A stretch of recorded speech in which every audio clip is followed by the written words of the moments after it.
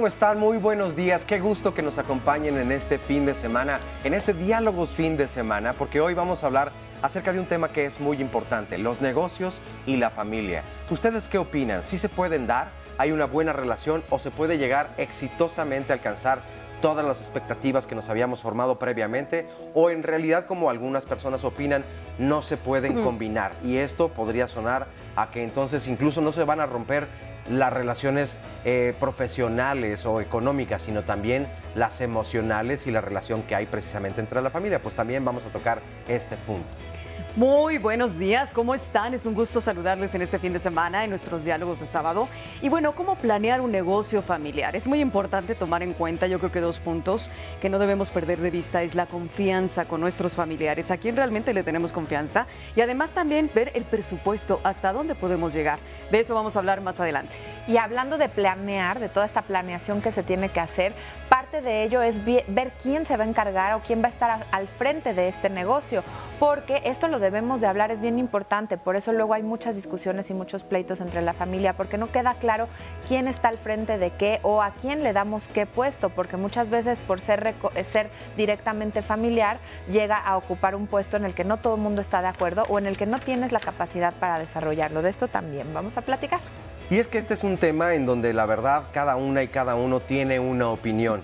Si ustedes en este momento están comenzando o tienen la idea de comenzar un negocio con sus familiares, llámenle a todo mundo y cámbienle al 11 porque seguramente entonces encontrarán aquí parte de lo que se puede presentar en un futuro. Así que comenzamos.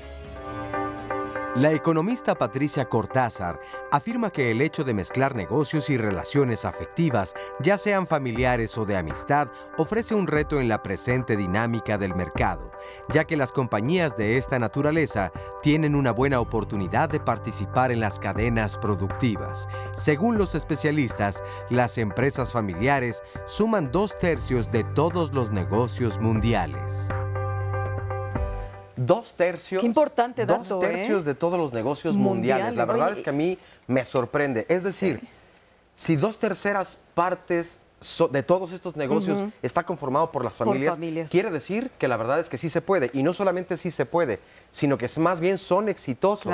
O te pueden llegar eh, eh, más fácilmente a alcanzar entonces esta cima que tú quieres encontrar o, este beneficio para todos. Claro. Porque creo que hay, y ya lo, lo iremos desarrollando durante el programa, pero creo que hay una intención muy sana de conoces las necesidades que hay en torno a esta familia y por lo tanto cada uno va contribuyendo y cada una va contribuyendo a que todos estos vacíos o estos pequeños baches que se pueden presentar entonces realmente se atiendan, ¿no? Oye, Oscar, y además son bastante lucrativos, ¿no? Sí. Porque si ese es la, el porcentaje que se genera, imagínate nada más, significa que un negocio familiar bien planeado puede rendir muchos frutos. Y es que yo creo que parte del éxito de los negocios familiares es el tiempo que va transcurriendo y la especialización que se va dando en ellos. Eh, sea un negocio pequeñito o sea una gran corporación, son eh, muchas veces de años. Entonces, el hecho de que, por ejemplo, una familia tenga un restaurante y es una tradición ese restaurante, van mejorando, van mejorando. Y las generaciones que van llegando lo van haciendo también, eh, van sumando la experiencia ya de, muchos años. Entonces yo creo que eso es una clave para que un negocio familiar perdure en el tiempo y sea rentable, es, la, eh, es el tiempo que permanece y, adquiriendo experiencia. Pues tenemos un sondeo. La pregunta para el público es, ¿es buena idea emprender un negocio familiar? Vamos a conocer las respuestas. Yo creo que sí, ¿eh? Porque pues tú lo manejas a tu conveniencia y todo, ¿no? Y tu horario y todo. Y siento que es más ganancia. Sí, bueno, porque uno te ayuda a la economía de la familia y hay familias que lo han hecho.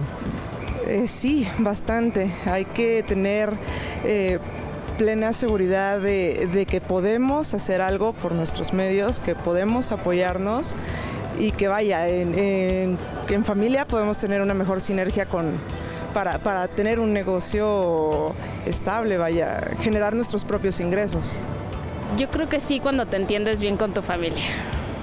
Eh, claro que sí, pues porque es un patrimonio tuyo, ¿no? Es algo que tú creaste y bueno, que creas y que bueno, te va a retribuir, Sí, claro, es muy buena idea. Porque como está la crisis ahorita en este país en general, obviamente lo que nos abre la puerta para poder realizar nuestra economía es tener algo propio. Muchas gracias a quienes respondieron en este sondeo. Creo que tocan puntos interesantes. Este último me parece que es fundamental.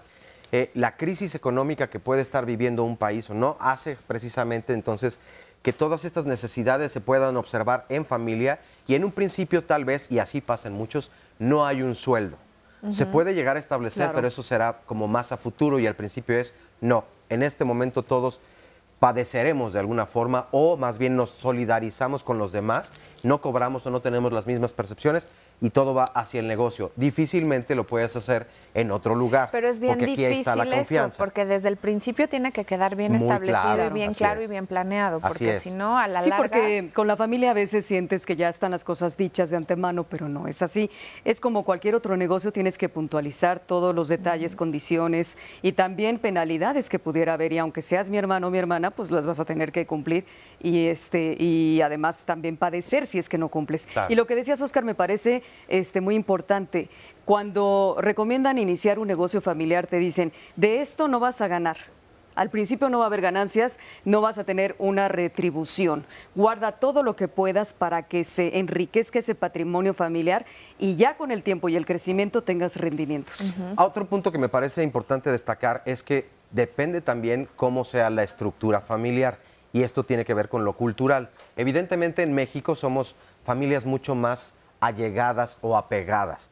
Es decir, la convivencia es muy íntima, nos frecuentamos constantemente y esto es en la mayor parte de las familias, no quiere decir que en su totalidad.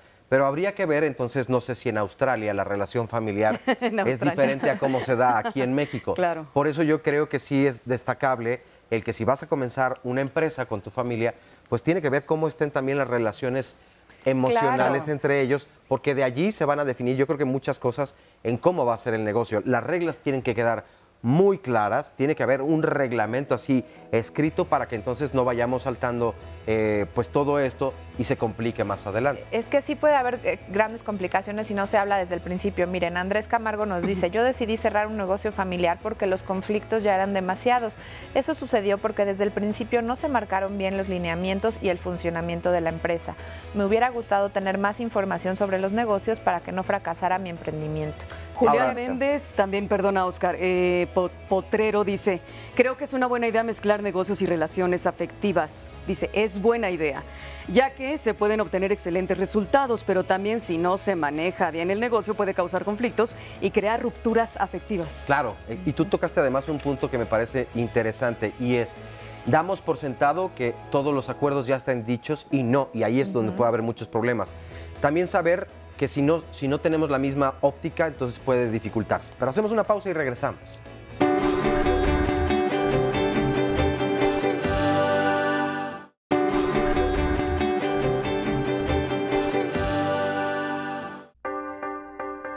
John Ward, autor del libro El éxito en los negocios de familia, señala que este tipo de organizaciones requiere de estrategias poco habituales, teniendo como principio básico la planeación y la participación activa de cada integrante. ¿Será que de lo contrario la dirección del negocio podría presentar inconvenientes en sus objetivos y metas por diversas presiones de los miembros familiares? Estamos hablando de los negocios familiares en esta mañana de diálogos de fin de semana, pero ¿qué debemos tomar en cuenta antes de planear un negocio con la familia? Y esto fue lo que respondió nuestro público. Adelante. Primero, ¿qué requieres? O más bien, ¿qué es lo que buscas con el negocio? Y a partir de ahí definir qué es lo que vas a hacer. Bueno, como familia y yo. Y pues nada más eso, realmente visualizar el futuro del negocio. Pues el capital, el apoyo de la familia y tener un plan establecido, un plan de negocios. Mm, Las condiciones del negocio que se quiere poner, por ejemplo, si el producto o servicio es viable, la zona en donde se va a poner y si se cuenta con el sustento necesario para mantenerlo. que haya armonía y que haya confianza para tener un negocio bien. Pues creo que siempre el estudio de mercado, ¿no? Y tener alguna pequeña noción de administración, porque normalmente por eso truenan. Bueno, primero comenzamos con el capital. Primero hay que saber quién es el mayor inversionista y de ahí partimos sobre las responsabilidades, creo yo. Ahí está la respuesta de nuestro público, el capital, ¿no? ¿Con cuánto cuentas? ¿Cuánto va a poner cada quien? Porque a lo mejor hay socios no capitalistas dentro de la familia. Habrá el socio que diga, pues yo voy a ser el ejecutor y tú vas a ser el capitalista. Y entonces esos acuerdos familiares deben quedar muy claros, como decíamos en un inicio, pero además, ¿cuánta confianza le tienes a ese familiar? Eso es bien importante. Ahorita estaba yo pensando que es a cualquier nivel. Hace poco una amiga eh, cercana me dijo, oye, es que vamos a poner junto con mis hermanos una tienda de abarrotes, una tiendita eh, de productos básicos, ¿no? Y entonces ella decía, mis hermanos van a poner el dinero para eh, el local, para armarla, y yo voy a despachar. Esto ya estaban llegando a acuerdos, ¿no? Ella decía, yo no tengo el dinero para surtir, para empezar, pero yo voy a trabajar X tiempo y, y voy a despachar y esa va a ser mi aportación. Pero, ¿qué pasa cuando entonces llega alguien ajeno a la familia, es decir, de repente la familia crece, entonces llega el cuñado o eh, la hermana trajo a la amiga y entonces esa confianza que supuestamente la tenemos entre nuestros familiares se tiene que extender a las personas que van llegando. Claro. Y, y, y la misma familia puede decirte, oye, pues es que tú trajiste a tu amiga, pero yo no la conozco, yo no confío en ella. Sí confío en ti, pero no en, es bien complicado y se tiene que hablar, se tiene que poner sobre la mesa todo el tiempo eh, todas estas posibilidades. Yo creo que sí, y ahí de allí se pueden derivar muchas problemáticas, porque esta idea, de verdad, yo, yo sí le sigo dando una gran importancia. Cuando crees que ya está por entendido y no se ha hablado, Sí. se Sí. presta muchísimas confusiones y a, y a que las relaciones se compliquen. Y lo que yo decía hace rato es que también es muy cierto que el, el fundador o quien creó esta idea del negocio Ajá. es quien tiene el concepto en realidad. Tiene que dejarlo o tiene que tener la capacidad de comunicarlo perfectamente a las demás personas que van a ser los miembros de esta empresa para que quede muy claro. Pero al mismo tiempo, también entender que no todos tenemos la misma capacidad ni de observación, ni la capacidad tal vez o el talento para desarrollar ese giro específico de la es. empresa que. Sí, sí. Creo que se tiene que ser muy honesto en qué es lo que yo puedo hacer, como bien decía ahorita Sandra, si yo no tengo la capacidad económica en este momento, lo que yo voy a entonces a dar es mi parte Mi trabajadora, mi tiempo y evidentemente también habrá la, la experiencia. La creativa o las ideas, el diseño, Sí. todo eso. Pero, entonces ya dime. nada más para terminar este punto es, tienes que estar consciente de que no todo el mundo tiene la misma capacidad y no todo el mundo tiene también el mismo empeño. Claro. Entonces, tú quieres que todo funcione como lo piensas tú, ese puede ser un punto importante como para el declive de lo que podría ser lo contrario. Lo- eh, sí, el detonante a que no se logre. Lo- unos pasos muy sencillos que nos recomiendan los expertos. Cuando ya tienes muy claro cuál va a ser el giro del negocio, tienes que hacer el plan, bueno, ya se tiene fijada la actividad, tienes después que establecer el plan de empresa. Desde cómo va a estar esta institucionalidad, bueno, registrada, ¿no? Desde eso, Los socios, desde ahí, la qué sociedad, porcentaje. y cuál va a ser este tipo de sociedad. Hay distintos tipos de sociedades. Luego, una vez seleccionada la fórmula jurídica, se deben establecer órganos sociales que dirigirán la empresa. Eso también es muy importante. Luego, para organizar la empresa familiar correctamente y tener continuidad, porque se trata de que te- se tenga éxito, se determina el protocolo familiar de forma muy clara, que es lo que hemos estado insistiendo desde el principio. Y a la hora de iniciar una empresa de familia, la sucesión generacional. ¿Quién va a continuar con el negocio familiar en caso de que este sea exitoso? Sí, yo por eso decía y mencionaba un restaurante, porque sabemos de restaurantes que el día de hoy son de tradición, de, eh, por ejemplo, pensando en comida mexicana, de estos que son de 100 años de tradición, que empezaron probablemente como un puesto de, de tortas, de tacos y que empezaron a crecer y fueron las siguientes generaciones las que lo hicieron crecer. Después se asocian incluso entre familias. Yo eh, tengo en lo personal el negocio de mi familia. Cuando yo fui niña crecí en el negocio de mi abuelo materno y se asoció con otra familia entera. Entonces era la familia de los Rule con la familia otra y, y era lo que opinaba toda una familia que era una complicación Claro. más lo que opinaba la otra familia. Entonces ahí sí ya nos hicimos unas pelotas, O sea, pero bueno, ahí es no un funcionó. negocio, no, ya tiene un- es un negocio que Continúa. tiene ya muchos años, 50 O sea, sí lo años supieron la manejar, empresa, a pesar. pero digo, y fue creciendo y, lo- y con los años ha enfrentado diferentes crisis y bueno. etcétera.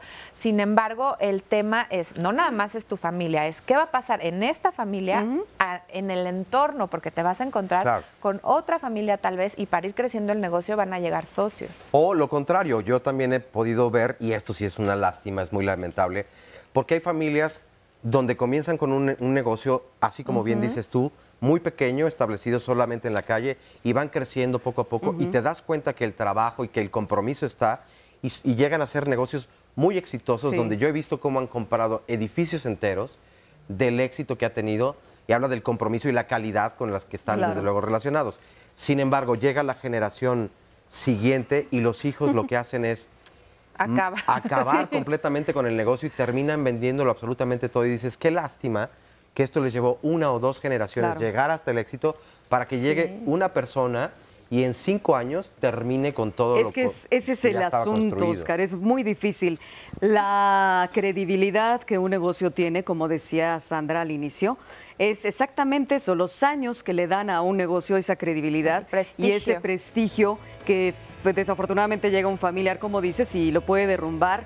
Eh, deja tú, en dos años, en un año se acaba Sí, y sí, además si los recursos los eh, despilfarra, pues con mayor razón. A Pablo Murillo Jiménez nos llamó y nos dijo lo siguiente, dice, hace tiempo inicié un negocio familiar, pero por falta de planeación y visión no ha funcionado muy bien y eso ha hecho que se pierda la confianza hacia mí, hasta tu propia reputación va en riesgo. Ujú. Miguel Ángel Méndez Fuentes nos dice, para tener un buen negocio familiar es necesario que el fundador plantee bien los lineamientos y estrategias para que funcione la empresa, de lo contrario pues no habrá éxito. Así Y Karina Vega nos dice, a mí me ha ido muy bien en mi negocio porque cada año como familia nos marcamos nuevas metas y objetivos para salir adelante y nos capacitamos constantemente ante las necesidades del mismo. Ahí hay varias recomendaciones. Y otra que hace. yo tengo muy cercana es que siempre hay un líder, siempre hay una cabeza. Regresamos con más.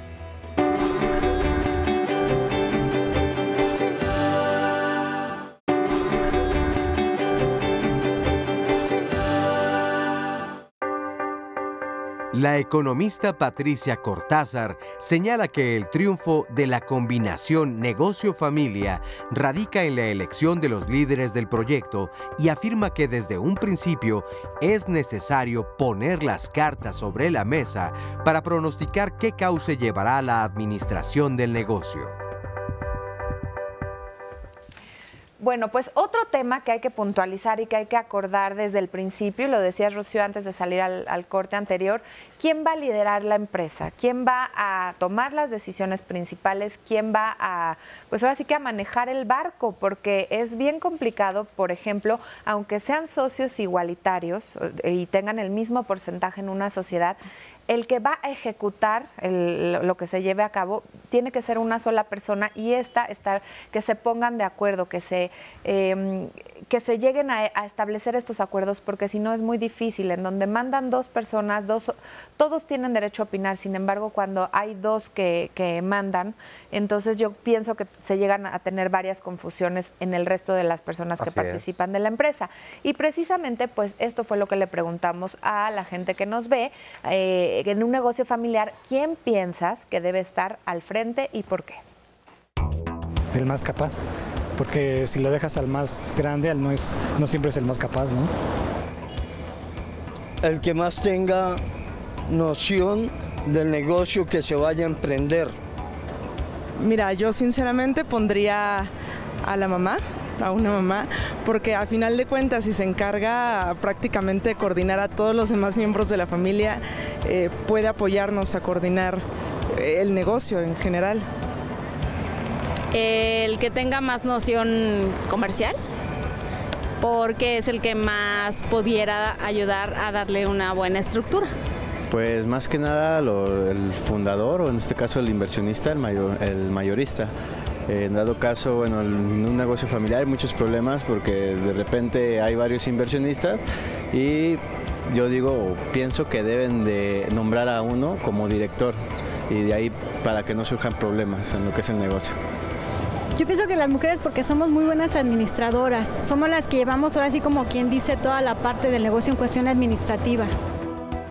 Muy bien, pues ahí están eh, las opiniones que están maravillosas. Miren, aquí eh, nos dicen los especialistas, para garantizar el éxito de una empresa familiar es importante definir requisitos para la incorporación de nuevos miembros familiares, así asegurar quiénes van a ser los líderes, los procesos, las formas de dirección de los fundadores y el concepto a futuro de las nuevas generaciones. Fíjate Porque que- pues lo que decía yo hace rato, se casa alguien, después bien, tienen hijos, entonces se van agregando a la, la familia va a crecer. Claro. Y no necesariamente los socios o el negocio va a crecer de la misma manera que la familia. Fíjate Luego no hay puestos y tenemos que inventar el puesto para que alguien tenga el para trabajo. que la familia exacto. tenga trabajo, para que algún familiar. Fíjate que en ese sentido me gustaría hacer hincapié en la radio en México. Fue iniciada principalmente por familias.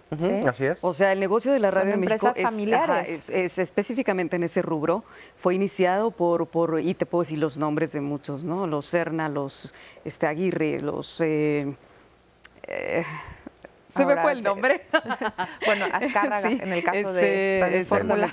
Los Azcárragas, bueno, todas las empresas y todas son familiares. Y vaya que sí se eligió presidente eh, de consejo, presidente ejecutivo, director o el chairman o el CEO, como se le llame.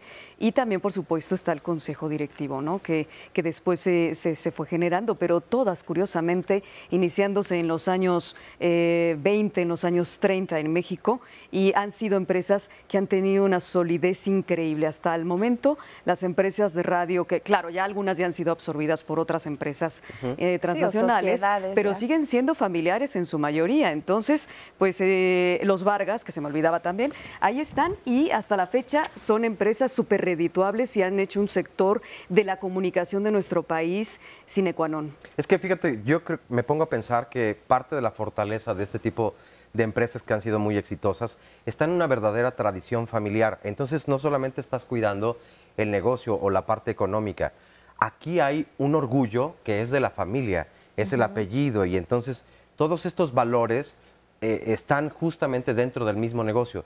Hay personas incluso en otros giros que tienen una forma de pensar, a algunos les parecerá conservador, otros no, pero para que un empleado pueda entrar a ese negocio, tiene que tener los mismos ideales más o menos, porque cui- cuidan entonces todos estos valores. Y ahí es donde yo creo que tiene que ver en parte el éxito, porque no se traicionan. Hay una película muy interesante, no voy a decir la marca, obvio, pero es de esta cadena de hamburguesas que le ha dado la vuelta a todo el mundo. Que tiene un payaso, por cierto. Exacto. Y este Y un color amarillo. y habla justamente de cómo, cómo se creó esta empresa. Son dos Justo hermanos. la- ¿Qué sabías que la vi antier? Ah, no, no sabía que la viste. Pero son dos hermanos que planean perfectamente bien esto. Incluso cuando llega un tercero, que no es un amigo. Que no es un familiar. no es un familiar tampoco, y, y es- y p- empiezan a presentar esta dificultad de no vamos a confiar en esta persona porque no es parte de la familia. Y ellos tenían este pensamiento, es nuestra familia, es nuestro nombre el que está allí, entonces no solamente representa un negocio, representa toda una estructura y una tradición y generaciones y generaciones que la verdad es lo que vas defendiendo también, y a eso me refiero, y creo que sí es una verdadera Pero no fortaleza. terminaron vendiendo estos hermanos. Lo Pues que- es que Eh, lo no se los vamos es a que- contar, ajá, pero- para que la vean. Es pero que yo me quedo con esa duda, sí- yo no la he visto, En pero realidad supe eso. sí llega un tercero, que no es familia, que no es familia. pero tiene una visión mucho más amplia que la que tenían ellos como negocio familiar, hace crecer el negocio y de ahí se desarrolla toda lo- todo lo que hoy conocemos como semejante Pero los hermanos ya no cuentan, ¿no? Los hermanos en algún momento salen del negocio, pero no les platicamos para que vean por qué. Muy bien. Sí, empieza como un negocio familiar y termina no siéndolo. Así es. Y estaba yo pensando en esto de las de los negocios familiares porque muchos llevan el nombre pero literal, o Así sea, es, no sí. nada más lo llevan como de corazón, es el hotel eh, o la cadena el hotelera apellido, que claro, se de la- llama eh, de la familia. como la familia se apellida, el restaurante tal eh, eh, y son eh, son Los- empresas los despachos de los abogados. despachos este los bueno, qué de decir de, un consultorio médico en donde se va se va ganando este prestigio y se transmite al- a, través de los años eh, por medio de los de los hijos o los oficios también hablábamos Claro. de eh, un carpintero un plomero y que o un cerrajero y se le pone el nombre a- al negocio no Eh, con el apellido y claro hay un prestigio que importa en la colonia en el lugar en el que vives es importante que te reconozcan porque eres de los Gutiérrez o de los Gómez o Así Va es, la sí. reputación de por Por medio, ¿no? No solamente Sí, una sí. persona, sino de toda una familia. Alejandro Contreras Muñoz nos comparte lo siguiente en una llamada telefónica. Dice, para mí, ser líder de mi empresa familiar ha sido una experiencia muy dura, ya que hemos tenido momentos de mucha fluidez económica y otras veces no ha habido abundancia. La incorporación de nuevos miembros ha sido la clave para salir de la crisis. Fíjate, Arturo Muñoz Arteaga, Ser líder de un proyecto es una de las cosas más fabulosas que le puede pasar a una persona, ya que te vuelves un ejemplo a seguir y es muy bonito ser líder de tu familia ya que aprendemos y compartimos muchas experiencias. Y Rita Palacios nos dice, hacer que un negocio prospere es un reto constante y el, el, que es el líder es quien determina el futuro y la supervivencia de la empresa. En nuestra experiencia, por mucho tiempo, mi padre fue el líder del negocio, pero llegó un momento en el que ya no avanzábamos y tuvimos que renovar cargos. Esto también es bien importante, se nombró a otro líder en el proyecto. ¿Cómo tomar esas decisiones? Espérese, ahorita regresamos y continuamos hablando de esto.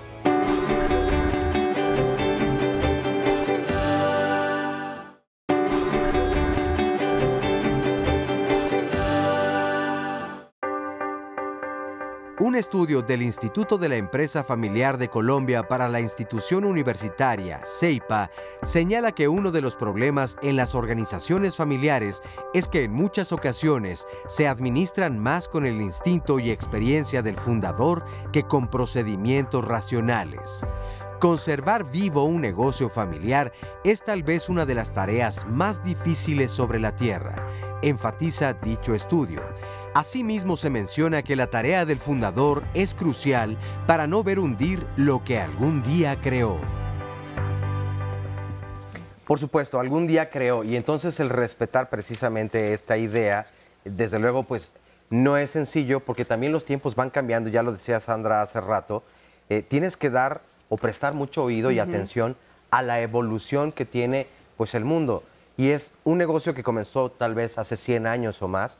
Evidentemente las necesidades eran otras, de la sociedad, del, del comercio, del, del mercado, eran La diferentes. clientela era diferente. Así Pensemos es. en un editorial o en un, en un periódico, como Claro. se está viviendo ahora los medios de comunicación, a lo que era antes, Claro. cómo se diseñaba una página de una revista y cómo se hace ahora. Y sin embargo hay cosas que son base y que se deben que deben permanecer y prevalecer. Por ejemplo, los valores de esa familia que han hecho exitoso el negocio son cosas que no que no cambian y que se tienen que quedar. Uno de ellos habíamos dicho, ¿no? Que la confianza es básica. Y otra situación también es importante cuando eh, estás encontrando la- el vector por el cual te vas a dirigir en esa empresa, ese no cambia tampoco. Es un eje que aunque el tiempo lo, lo acomodes a la época moderna o a la vida actual, tu vector, tu eje, tu eje importante de, de que lo que es la actividad de tu empresa es también fundamental que eso se mantenga y se fortalezca. O, o- o que vaya evolucionando. Y, y Claro. hay, hay personas que tienen más capacidad, a eso le llamamos visión, y es el ir adaptando precisamente el ideal de un principio para conservar parte de los valores, sin embargo también para pues llenar las necesidades que hoy el día el mercado tiene. Tenemos una pregunta en el sondeo que es ¿por qué se presentan eh, los problemas en un negocio familiar? Vamos a verlo. Puede ser por la falta de visualización que se tuvo al inicio y muchas veces la confianza que da estar entre familia lleva a que no cumplamos o que yo no cumpla con, con los acuerdos que hago, porque es más fácil romper acuerdos con mi familia, que sé que me ama y me va a respetar, a romper el acuerdo con alguien más. Yo siento que más que nada porque luego hay este inconformidades, ¿no? Luego más que nada uno tiene una opinión y, a- y otra persona otra. Entonces eh, yo siento que por ahí empiezan los conflictos y en eso se desarrollan los problemas, los, los problemas familiares más que nada. Mala administración y la combinación de sentimientos con negocio, porque eh, la familia a veces abusa. Bueno, creo que comienzan por la autoridad. No saben delegar autoridades y, bueno, obligaciones. Pues muchas gracias a quienes participaron en este sondeo. Y sí, creo que pueden ser varios puntos los que van a afectar esta relación, tanto familiar como evidentemente la profesional o la parte del negocio. En la superposición de dos sistemas, familia y empresa, dobles roles y falta de separación en ambas áreas. No saber distinguir que esto es lo familiar, lo afectivo, lo emocional y esto es la parte profesional, común, el negocio común. y no mezclar estos sentimientos. Favoritismos también se pueden presentar. Y entonces eh, se, va a generar una inconformidad entre los demás miembros de la empresa. Claro. Porque dirán, claro, como es tu hijo consentido, entonces le das el puesto donde menos tiene que trabajar, donde se le retribuye económicamente más y empiezan evidentemente las envidias. Y otro punto también muy importante es que sea un sistema excesivamente personalizado. La falta de flexibilidad.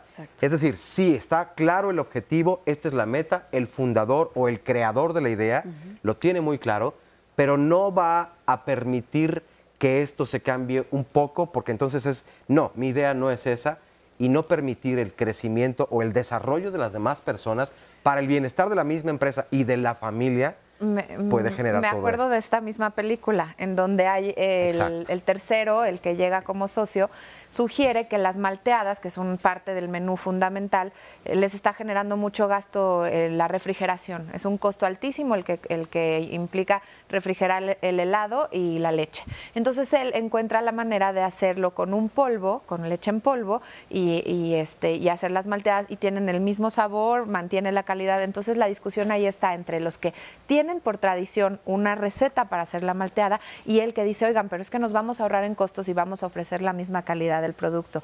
Entonces ahí hay una discusión y, y esto fa- eh, sucede muy frecuentemente en las familias, que uno trae una idea innovadora, creativa, en donde ofrece ciertas posibilidades, pero los tradicionales no necesariamente Claro. la van a aceptar. Es que eso habla del choque generacional, ¿no? Exactamente, Que es otro eh, punto. Que es un punto importantísimo en esto de los asuntos y negocios familiares. Y otra cosa es el no saber delegar. Por ejemplo, está quien toma las decisiones y a lo mejor ya aceptas quién es la cabeza de este negocio y a quién se le dan más los negocios que hay que reconocer. Sí. Hay personas que no sabemos de negocios, pero ni, ni pío. Entonces, no, no tienes, o sea, no, no tienes otras muchas habilidades. Exactamente, no, no in- no ingresas a tu casa nada porque no sabes hacer el negocio. Pero el saber delegar es muy importante, además de reconocer quién tiene la cabeza y el don del negocio. Sí, por supuesto. Eh, y el no saber, bueno, no saber delegar tiene que ver con la poca confianza y esto también no solo afecta a la parte del negocio, a la parte de la educación, porque tú le estás restando entonces el reconocimiento y el lugar a esa persona que igual sí tiene la habilidad, Y igual la sí tiene los conocimientos sí. y además no se frena allí porque es un desarrollo. Entonces tú vas a ir aprendiendo junto con el negocio. Si no tenías idea de ese, de ese giro y poco a poco te empiezas a dar cuenta, pero eso hay que hacer un ejercicio de mucha honestidad y además de un compromiso y tienes que ser muy una persona eh, muy disciplinada. Claro. Se puede aprender y puede ser quien supere a la persona que en un principio lideraba o era la, la cabeza de esa Y luego empresa. eso es lo que se quiere evitar. El superar ¿no? a quien Sí, está liderando llegue, la es empresa. el- el miedo Dice, a que mí, alguien sí, llegue no me y vas me a quitar quite". este, mi, mi- mi silla, ¿no? Soy el chairman y tú no vas a ocupar esta silla. Miren, bueno. la opinión del público es maravillosa, de verdad nos ilustra muchísimo porque con ejemplos concretos vamos eh, aterrizando todas estas ideas de las que estamos hablando. Amador Cruz dice, antes yo trabajaba con mis papás en la empresa familiar, era una repostería, pero por sus ideas tan tradicionalistas no me dejaron proponer nuevas ideas y terminé mejor creando mi propio negocio. En este caso, pues es un choque generacional de los puntos de los que hablaban. Lorencia Trejo Iturbide nos eh, acota lo siguiente. Dice, justamente porque dentro de la familia están involucrados muchos sentimientos, es más probable que existan conflictos en una empresa familiar. Todo se vuelve más emocional y hay que ser más cuidadosos porque está en juego la unión y la armonía de la familia. Estas rupturas tremendas que se dan a propósito de los negocios familiares, Sí. donde la- la- los integrantes de la familia, sea, sea quien sea, de- dejan de hablarse ya por generaciones. Sí, por generaciones. Ezequiel Ramírez Hurtado nos dice, en mi experiencia como padre de familia, en mi negocio familiar al principio mis hijos no separaban muy bien mi rol como padre y mi rol como líder del proyecto. Pensaban que tenían privilegios por sobre los demás en el trabajo por ser su padre, lo que me causó al principio muchos problemas con ellos. Sin embargo, ahora respetan la responsabilidad de trabajar en equipo. Y a esto me refería que no solamente entonces es un aprendizaje del negocio, sino en lo familiar. Pausa y volvemos.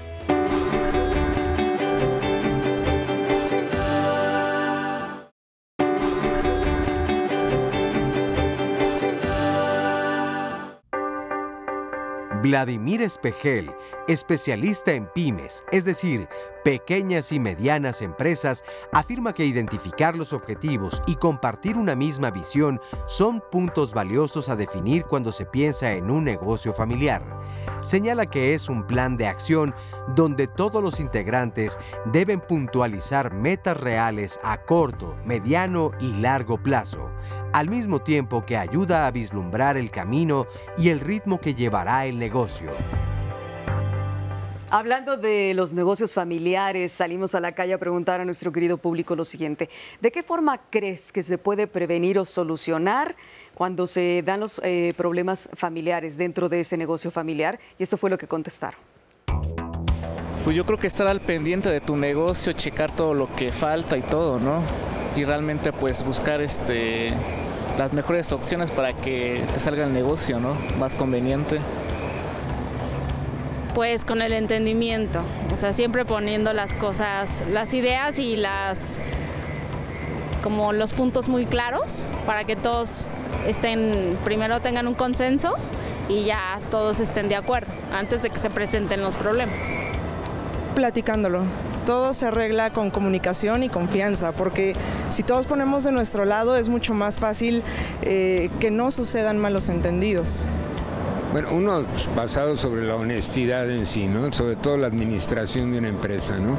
Porque cuando empiezan los despilfarros y que porque es el jefe que puede tener 10 carros y puede tener esto y lo otro, pues ahí esa empresa se te va a colapsar. Yo ya viví esa experiencia con alguien que así se comportaba y lo paramos en seco. Una cosa muy importante que aconsejan los expertos es qué problemas se deben tratar en reuniones familiares y qué problemas son los que se deben tratar ya como gestión de empresa y hasta en el ámbito jurídico. Entonces, acuerdos familiares sí, pero cuando estos no llegan a consolidarse y empiezan a generar problemas, hay que distinguir entre esas dos vertientes que son básicas. Y bueno, pues también algo que es muy importante, por supuesto, es el asunto de los dineros, ¿no? Cuando eh, interviene el dinero muchas veces, aunque haya mucha confianza en la familia, comienza a haber también rupturas y descontrol. Tal vez no eh, falta de confianza, pero sí el descontrol. Que cuánto está ganando un porcentaje de la familia, el otro porcentaje, y si se juntan las familias como decía Sandy, la familia de, un lado de la, de la, pareja y de la otra, bueno, pues imagínense nada más, deben quedar clarísimos los porcentajes de ganancia, porque si no, el caos puede surgir. Y fíjate que con esto que decías en un principio, se me ocurre también pensar en todos estos negocios donde comienza en el hogar, a falta tal vez de poder pagar un local, la renta del mismo, entonces muchas familias deciden en casa comenzar con este negocio y es bien fácil llevarte los problemas del trabajo a, lo familiar porque tu habitación está simplemente en el cuarto de al lado o, subiendo una escalera y difícilmente puedes escapar a todo esto porque despiertas. Y despiertas pensando en el negocio. Pero sabes o estás en el negocio y piensas en lo familiar. Sí, pero sí se tiene que hacer porque llega un momento en el que una reunión familiar, y lo digo porque alguna vez me sucedió, habemos quienes no estamos en el negocio familiar como, como parte de él, pero como esposas tal vez, ¿no?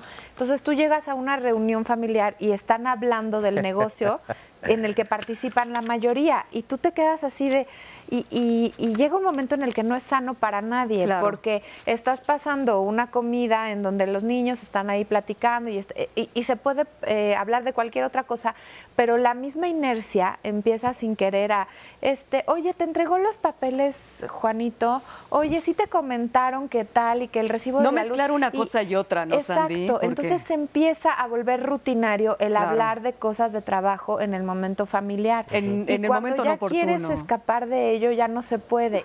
Y, los eh, especialistas sí recomiendan que haya, eh, así como somos familia, este momento es junta. Y es junta de negocios, familiar, pero de negocios. Y los asuntos de la del negocio se ven en el espacio físico del negocio. Exacto. Y es bien complicado, pero sí se puede hacer. Es una gran recomendación. Son los acuerdos de los que nos sugieren los eh, que saben de este asunto que se planeen desde un principio y se plasmen por escrito. Exactamente. Y las problemáticas que se pueden ir presentando también deben de plantearse las sanciones o las multas y no porque sea parte de la familia entonces se le va a permitir, porque eso va a generar en un futuro mayores complicaciones. Es decir, si conocemos que el primo Juan siempre se levanta tarde, llega a las reuniones familiares tarde, si lo hace también en, la parte del negocio, en, lo laboral, evidentemente va a causar problemas en la empresa. Entonces, no porque sea tu familiar le vas a decir o dejar de decir, oye primo, llega a las nueve, que es la junta, a esa hora,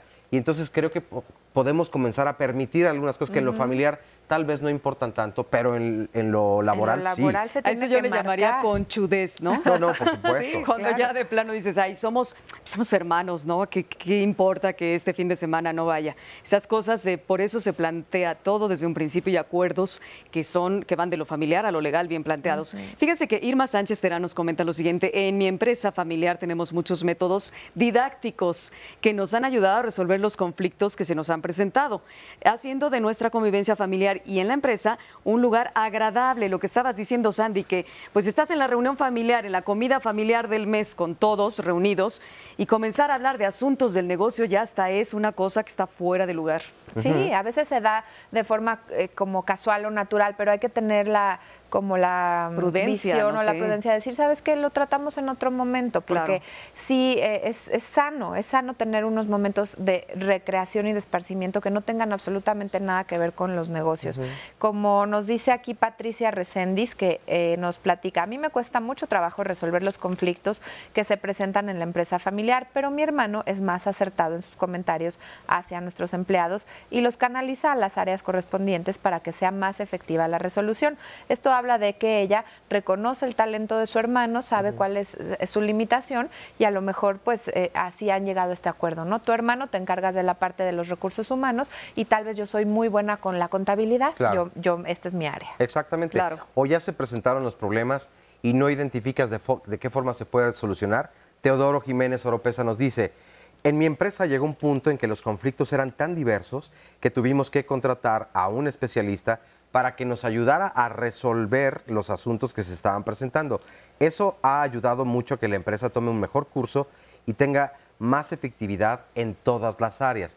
Y es que sí, no es tan fácil. Esto es lo ideal que Sandra decía hace un momento si yo ya identifico cuáles son mis áreas de crecimiento y donde yo puedo verdaderamente aportarle a la empresa, está estupendo. Claro. Pero cuando no tienes esta capacidad o se comienza a convertir de un problema personal en lo laboral, en ocasiones de verdad que no es fácil primero identificarlo y poderlo trabajar, Y evidentemente. es que esto es bien importante, aceptar la ayuda de alguien ajeno a la familia. Cuando es un negocio familiar, creemos que todas las respuestas las vamos a encontrar dentro de la familia. Y no es necesariamente. bien válido y bien importante saber pedir ayuda a alguien externo, a un asesor, eh, a al- alguien que nos llegue a dar alguna orientación en un momento determinado y que no necesariamente sea de la Claro. familia. Y recordar, no está de más que los métodos por los cuales vayamos a tener esos acuerdos en la familia eh, deben ser puntualizados y legalizados desde un inicio para que no haya de que tú dijiste, yo dije y siempre no se dijo nada. Y que a Chuchita la y bolsearon. que a Chuchita la bolsearon. Volvemos con más empresas familiares en esta mañana de sábados de fin de semana.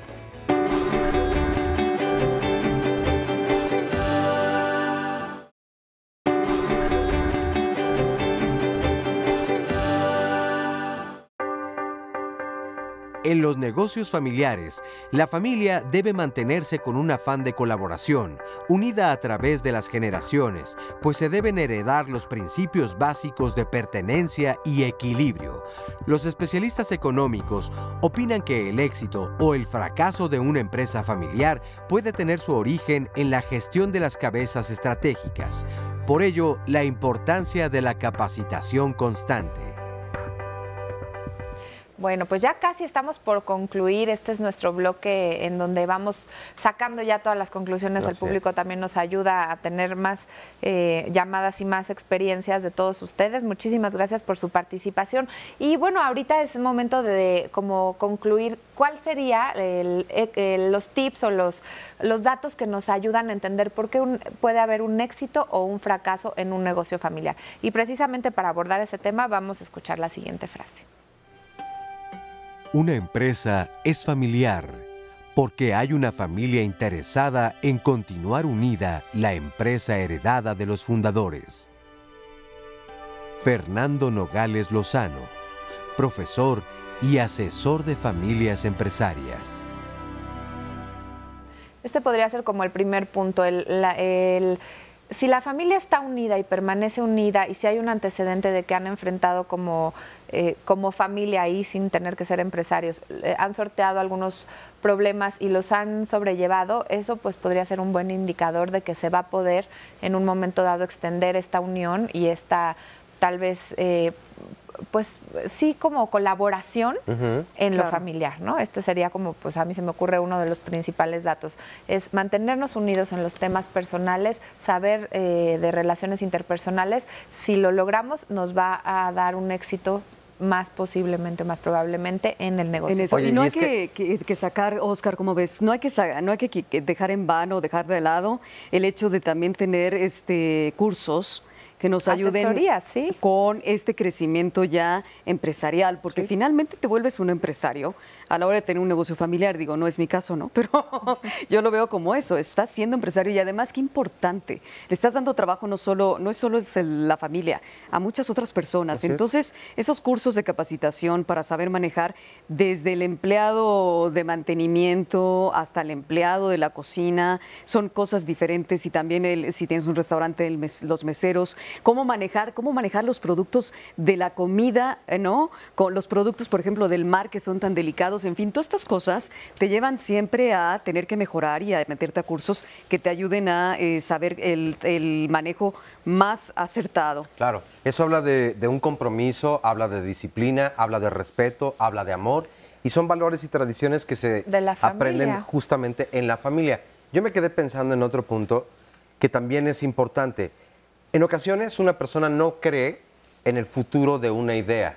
Todos podemos ser generadores y generadoras de ideas, eso me queda clarísimo. Y de verdad, la idea más absurda que en aparentemente en un principio así suena, puede ser una gran idea y desatar lo que en un futuro será una empresa transnacional. Puede Entonces, en ocasiones ha pasado donde una familia decide o emprenden una empresa y entonces algunos no creen y dicen, no, yo no voy a entrarle. Y cuando se dan cuenta del éxito que ahora ha obtenido esa empresa, quieren entrar después y entonces se generan también estos malos entendidos. Claro. Porque era como, "Ah, pues yo la verdad es que no les veía mucho futuro y ya tienen un futurazo y entonces desean el éxito que ya alcanzaron los demás.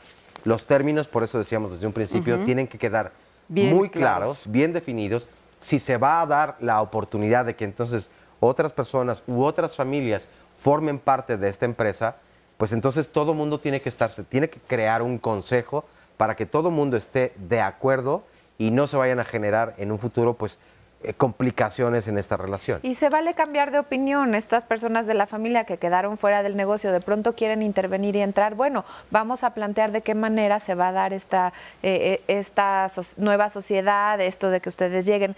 Y, co- y coincido perfectamente con todo esto de que los valores de una familia se extienden al negocio familiar.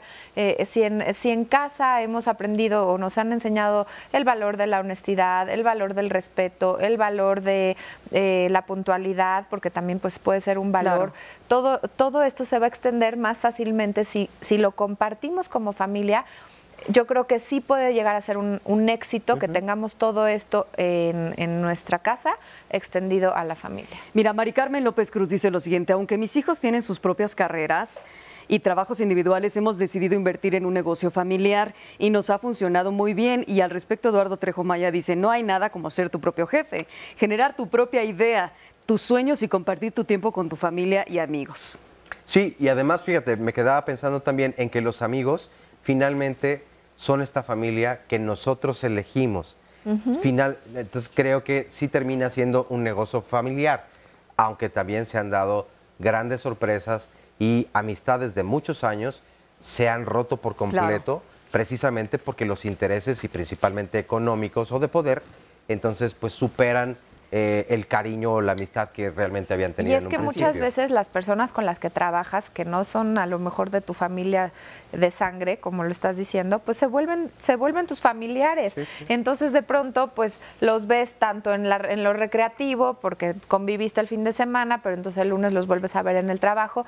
Y ahí, pues también hay que naturalmente hacer la división, saber que a partir del lunes, pues mi jefe va a ser mi jefe o mi compadre va a ser mi socio, ya no es mi compadre. O sea, al final, pues las relaciones interpersonales están, están siempre ahí, están constantes y creo que requiere, eh, más allá de lo, únicamente los negocios, únicamente la familia, una inteligencia emocional sabes- en todas las áreas. Claro, y sabes, hay un punto que, que no se nos puede escapar, lo comentaste tú, pero durante un corte, hay que establecer también desde un principio si se da, por ejemplo, si hay un matrimonio y se da una ruptura, una separación, un divorcio, hay que establecer las condiciones porque esto va a afectar, como decíamos hace rato, no solamente a esas dos personas, a todas las personas que Claro. trabajen en esa empresa.